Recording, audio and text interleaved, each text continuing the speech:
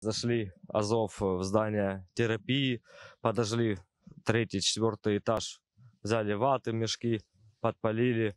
Э, Батя мой, дед, пошел тушить. Дали по нему очередь, тушить не разрешали. Ну, в общем, своими силами из- из-под тяжка пытались погасить огонь. Вот. После чего э, они переместились в соседнее здание.